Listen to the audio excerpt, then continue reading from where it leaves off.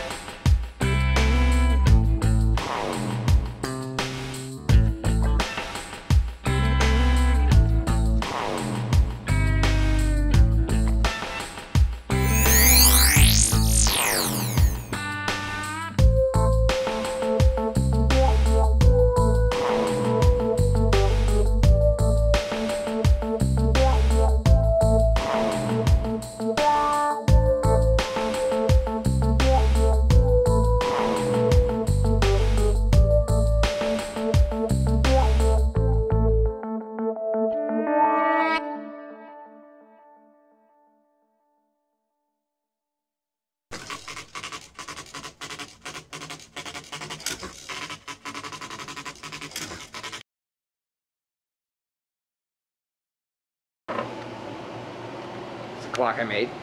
Pretty cool. I make the clock part. That was from the magnetic levitation video. It's an artwork from a guy who lived in the Straits when we were art curators.